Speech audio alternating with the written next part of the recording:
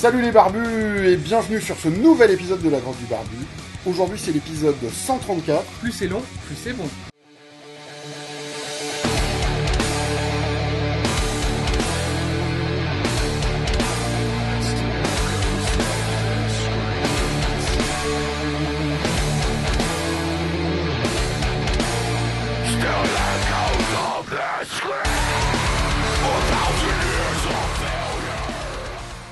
Et on va faire de l'initiation à l'hygiène numérique avec notre ami Genma.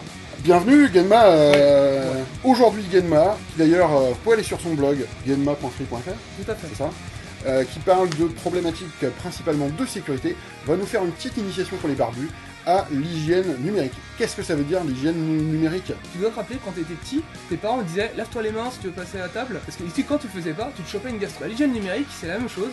C'est comment on se lave les mains avec un ordinateur, parce que sinon on se chope des gastro informatiques. Un des aspects de l'hygiène numérique, c'est c'est quoi un bon mot de passe. Règle zéro, Plus c'est long, plus c'est bon. Un bon mot de passe est un mot de passe qui est long.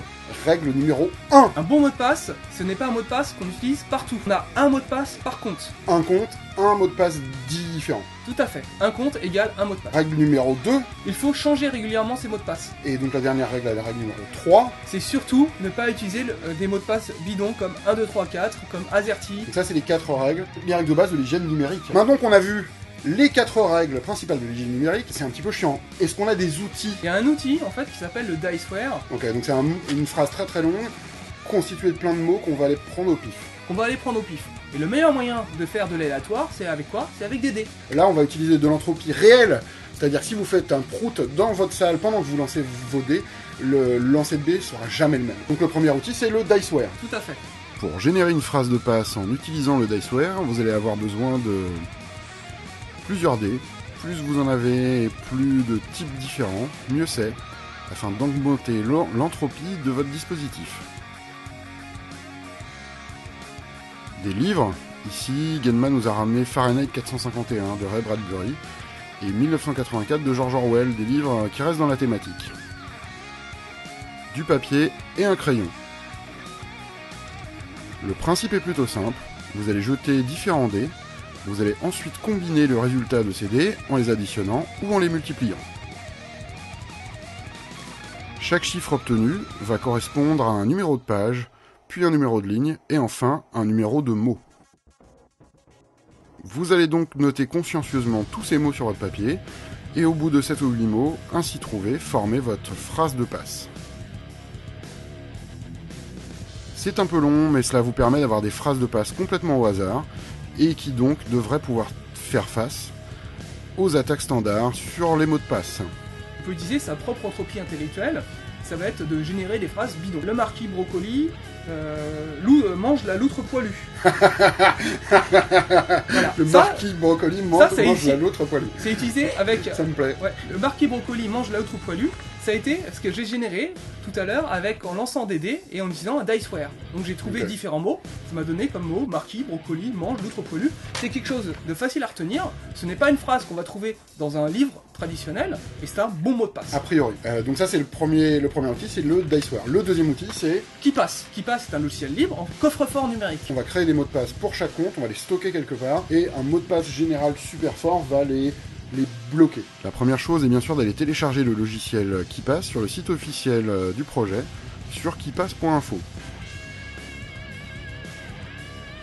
Le logiciel est disponible sur quasiment toutes les plateformes, Windows, Mac, Linux, ainsi que sur iOS et Android. Après l'avoir installé, vous allez rentrer un mot de passe maître qui vous servira à protéger votre stock de mots de passe. Sélectionnez votre catégorie, Internet, réseau, Windows, email ou banque, et créer une nouvelle entrée. Le logiciel vous permet donc de générer des mots de passe forts avec différentes options, telles que longueur de mot de passe, inclusion de caractères spéciaux divers, etc. Voilà, votre mot de passe est créé et est prêt à être utilisé. Vous pouvez sauvegarder votre coffre-fort. Si je tente d'accéder au fichier qui contient mes mots de passe sans taper mon mot de passe, impossible, celui-ci est crypté. On peut utiliser par exemple la double authentification. Si on a un mot de passe un peu faible, on va demander à ce que le site internet, quand il propose cette fonctionnalité, nous envoie un mot de passe à usage unique sur notre téléphone. À chaque fois qu'on se log, on aura donc un code à usage unique sur son téléphone à saisir en plus du mot de passe. L'inconvénient, c'est qu'on donne son numéro de téléphone à Twitter, à Facebook. Pour Firefox, ça peut être pratique de stocker ses mots de passe dans son navigateur. Il faut également, euh, il faut également penser à activer donc, euh, la sécurisation des mots de passe avec une phrase de passe. Dans Firefox, allez dans Options, puis Sécurité, et cochez Utiliser un mot de passe principal. On vous demandera donc un mot de passe et sa confirmation qui protégera donc les mots de passe stockés sur Firefox.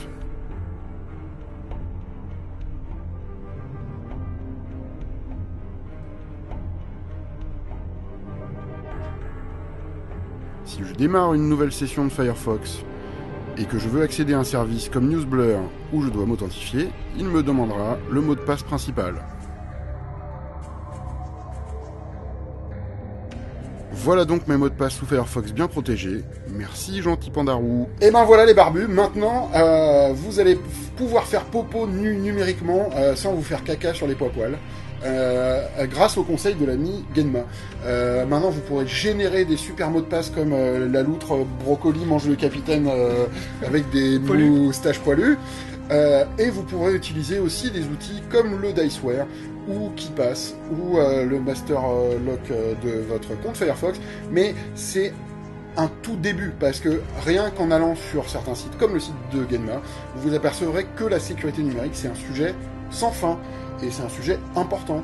Si vous voulez pas que vos photos ou vos mots de passe naviguent à droite à gauche sur le web. Si cet épisode vous a plu, n'hésitez pas à le dire dans les commentaires et on verra pour en faire d'autres, ou toujours autour de l'hygiène numérique. Bien sûr, comme d'habitude, si vous avez des questions, des insultes, n'hésitez pas à nous envoyer un petit mail, euh, nous contacter sur Twitter, laissez bien sûr un commentaire, euh, partagez cette vidéo massivement, même avec ta mamie qui sait pas ce que c'est qu'un mot de passe.